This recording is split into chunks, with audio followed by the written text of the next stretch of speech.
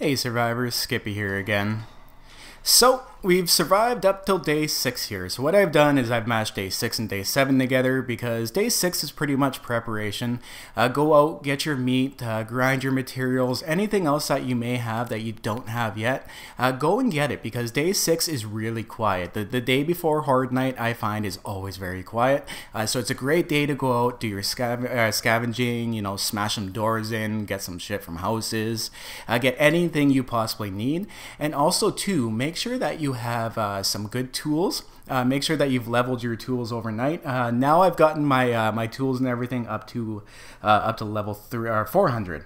Uh, but I also found these cool things too. You guys might come across them at some point in time in um, in a trunk. but they're night vision goggles. They look like crap they don't actually really work, uh, but they're kind of cool. Uh, you can't really see shit. Uh, but if you do find a working pair, those are cool as well too. I just thought I'd show you guys that really quickly. It's um, you don't come across them too too often, so I was I was pretty excited about that.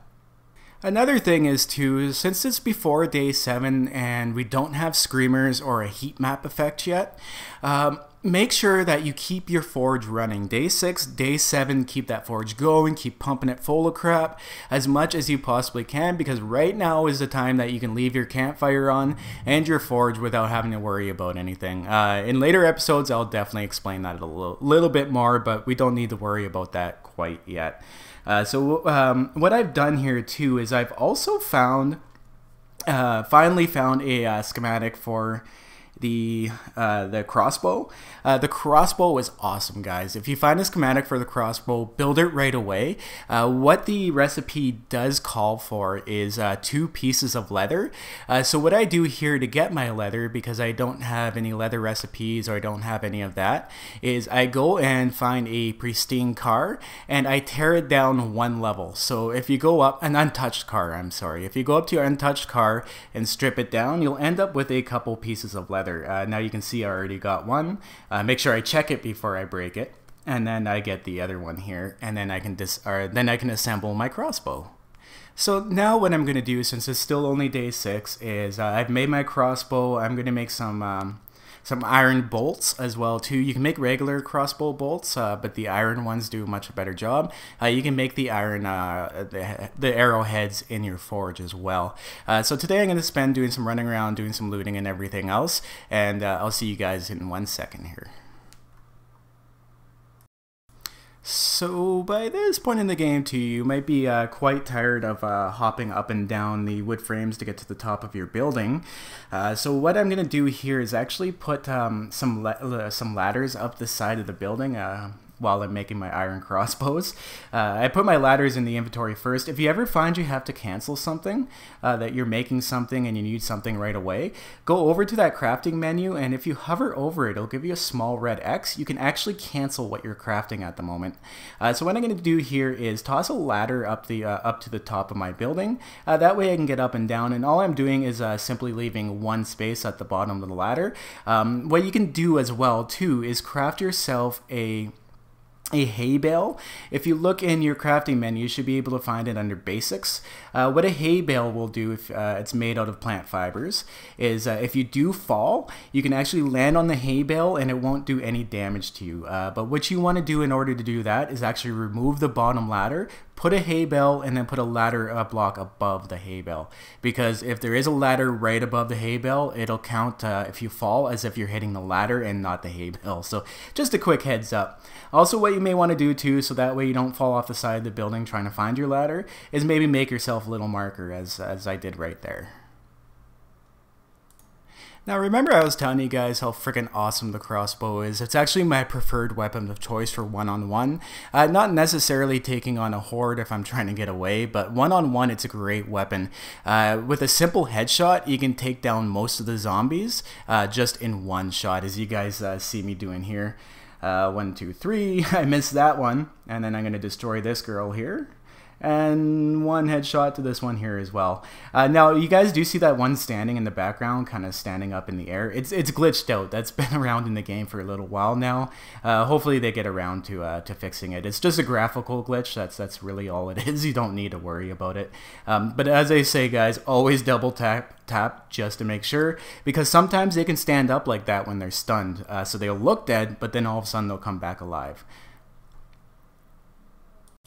Well, now it's day seven, and I've spent the night once again uh, doing all my tools, keeping my uh, forge running, campfire running, definitely taking advantage of uh, uh, of no screamers yet. Uh, so now what you want to do is you, you want to come down and you actually want to do some house cleaning up around your base. What I'm doing is I'm picking up some small stones. Um, I will get rid of those nests eventually, and I'm lawn and, and lawn mowing my lawn like Chuck Norris does by, by pretty much punching it all out. Because what we're going to be doing today is we're actually going to be beefing up the base uh, in preparation for the uh, the seventh day horde. Uh, now I know you guys, if this is your first time experiencing a horde, you're, you're probably very nervous. Um, don't worry, guys. Uh, the way that the way we do this uh, will ensure that you'll make your way through the night with minimal damage to your base. You're gonna get hit, but you're not gonna get hit hard. And if they do make it through, most likely they're all gonna be crawling. So um, I'm gonna go ahead and finish up uh, lawn mowing and picking up everything around the base. So I finished my uh, my Chuck Norris lawn mowing here. Uh, what I do recommend, guys, if you do have any skill points to spend, definitely spend them before you get your horde. So what I'm doing is I always concentrate on my health stuff first, and also the scavenging as well, but I've already taken care of that. Uh, you have your different perks here. As you can see, I'm going through the menu. You have the Survivor, which makes you not have to eat as much, run forest run. You can run further without taking up as much stamina. Uh, you got the Camel. Uh, your athletics, that um, levels up naturally. As you can see, I couldn't get Health Nut because my athletics isn't up to level 40 yet, but I really recommend, guys, don't waste your health points on the stuff that you can level up naturally. Um, as I'm doing, I'm doing the skills like the Camel camel, the survival, uh, run forest run. Uh, that's all stuff that'll make it a lot easier for you, and you'll have to stop to eat and drink a lot less. We already also to uh, already have spikes outside of the place, but since the day 7 horde is fairly large, and you're going to get a lot of them, uh, what you're going to want to do is you're going to want to go around your base and beef up the defenses.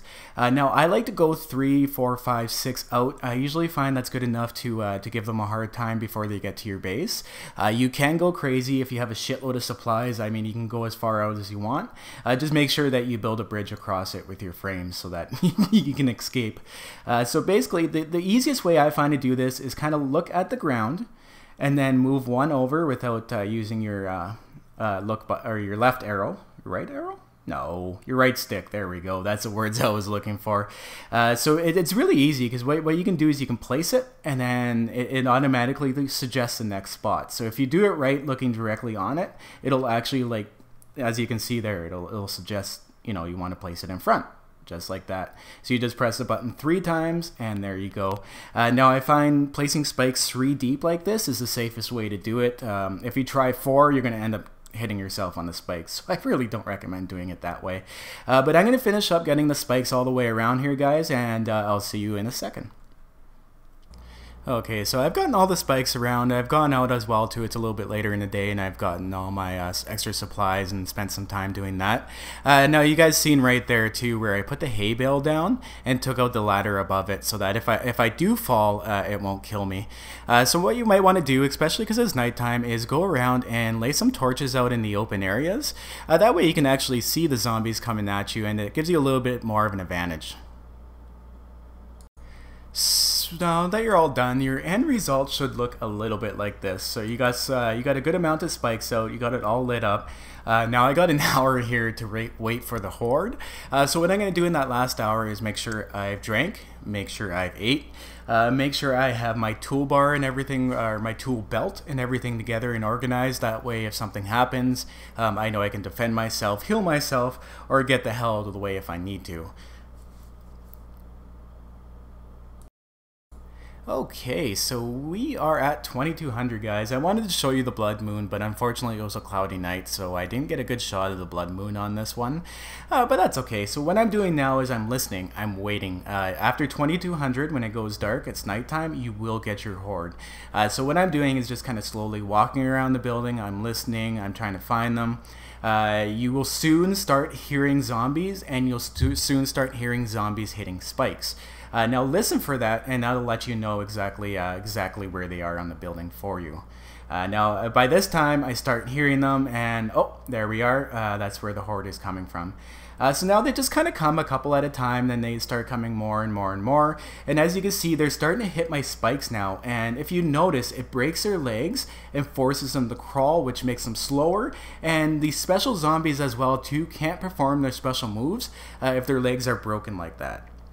Uh, so you will have a few make it through, and that's where you take your crossbow or your weapon, and you just kind of take pot shots at them. Don't fret too much, guys, about the your lower levels of your base.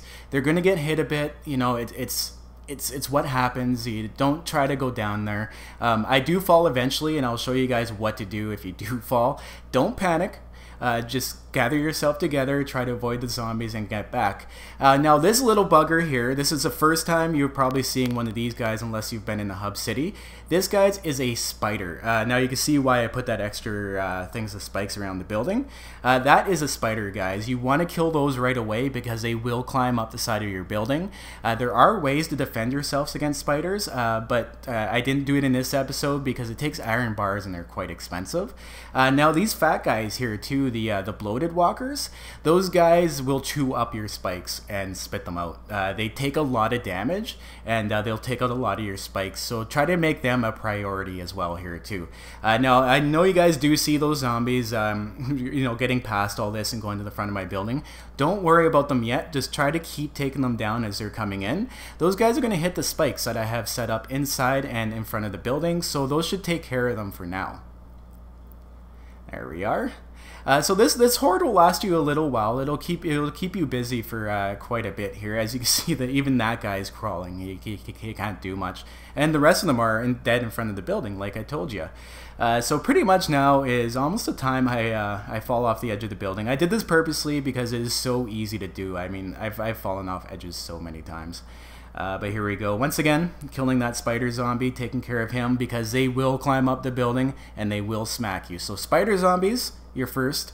Uh, the bloated walkers, you're second, and the rest of them are pretty much just harmless. Just take pot shots at them as they're they're crawling across the ground like this, uh, and they will get into your bottom layer of your of your base as well too eventually. Uh, that's why I told you guys in the previous episode to take out those stairs and uh, build yourself like a little little platform there so they can't get up. Uh, now here pretty much is where I decide I am going to join the uh, the pile of bodies down here. Uh, I was trying to um, get around the, edge a little bit. Bam, there we go. so what I've done is I've not panicked. Uh, they're all coming after me, but you got to remember, uh, if this was nighttime and I didn't have uh, the classic zombie set on, those guys would be running and uh, you'd have to run as well too. But I've broke my leg, so it's going to be a little bit difficult. Uh, now, if they are running, try to get them to run across the spikes. That's why those spikes are there. Uh, don't fret. this is doable on both modes. Uh, so I'm going to take out a couple here uh, and then go back up to the building so these guys just don't follow me up my wood frames. Uh, so once I get back up to the top here, I'm gonna just keep shooting them. Um, I'm gonna I'm gonna eventually uh, heal my leg here too. That's not my priority at the moment uh, because once I do get back up to the top, it doesn't really matter how quickly I can move across the top because I won't have to be running from the zombies. Here we are. So uh, let's uh, just go ahead, guys, and finish off this group here. So I quickly gather myself together, get rid of the last few uh, last few coming along. Uh, you, will know it's over, guys, uh, when you look in the same direction they've been coming from, and you don't see any more coming. So that then you know it's actually safe to, uh, safe to go down. Uh, you may hear a few in your building. There's going to be a few kicking around, but that's not a big deal. Uh, what you want to do after you don't see any more coming is just go down and do a, a walk around your base. Make sure there's no none of them hanging around. also crouch too. That's a good way to tell if you still have a zombie zombie problem. If you crouch and it says you're hunted or um, or sensed, that means you still have zombies around, uh, especially if you can't hear them as well too. Uh, I prefer to wear, wear, headphones while playing the game, guys. Wearing headphones will give you a definite advantage uh, because some of the sounds are very sensitive. Uh, but now you see me come around to the front of the building. They've made their way through spikes. I actually have only two in the building, which isn't bad at all. As you can see, that, that guy was bashing the uh, the, the ceiling and the wall there, uh, which isn't a big deal. I might come down here uh, later and uh, do some repairs, but uh, I'm going to kill off the remainder of the zombies in the building. And then, guys, it's time to straight up loot. Now, you're going to have yourself a buttload of loot uh, going on. Uh, that guy there, I know you guys seen him standing and then he broke his leg. Somehow he hit the spikes outside of that door. I'm not entirely sure how that happened, but uh, yeah, he did uh, did my uh, did me a favor there. Uh, so now, yeah, there's one of those spider zombies again. Those spider zombies sound like they're screaming. That's how you can tell the sound sound of a spider zombie. Uh, now, two guys, uh, a helpful hint. Uh, after day seven, you're gonna want to start making yourself more and more forges. Uh, that way, you can make yourself more and more um, at the same time. So these dogs here will also give you leather. So make sure that you uh, you take the dogs and you skin them as well here too. So congratulations, guys! You have survived day seven, your first horde. So from here on in, these hordes are going to get tougher. They're going to get bigger. Uh, there's going to be more of them. There's going to be more special zombies. Every horde you get, you get more of a special zombie. Like this one, we got spiders. Um, there should be a couple hornets flying around. Uh, there was one above my base. They're, they can be a little bit of a bitch to kill because they're so tiny and they're so far up in the air. Um, I usually just leave them alone unless they start bugging me.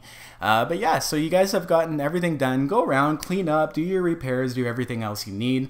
And from here on in, guys, it's up to you what you want to do. Uh, if you want to move to the main hub city, uh, if you want to go somewhere else, uh, or if you want to stay and improve this base, it's completely up to you. It's your game, it's your survival. Do what you want. Uh, now, if you guys do have any more questions, definitely let me know down in the comments. I'll, I'll do my best to uh, I'll do my best to answer them. Uh, I do know that you guys were requesting that I go past day seven with this tutorial, but I really don't know what I'm gonna do after day seven because it's a lot of gathering, a lot of repetitiveness from here on in, and it's uh, beefing up your defenses. And you'll slowly learn uh, more defensive techniques and everything else as you go along. Uh, what I think I might do for you guys that requested that I keep doing this as a tutorial series is I may start a Let's Play on the same map that I started the tutorial on. Uh, if that's something you guys want, let me know down in the comments and I'll definitely make that a reality. Uh, but once again, guys, I want to thank you for um, a great successful series. Thanks for all your likes. Uh, thanks for subscribing and thank you for all your great comments. I wish I could reply to them all, but it's just absolute madness this last little while. Um, I wanted to make a 5,000k uh, subscriber video, but I blew way past 5,000 way faster than I ever thought I would. I plan on it this week. Hopefully I'll have one out. But now I'm just fucking blabbering. So guys, stay classy, stay surviving, and I'll see you in the next video. Peace.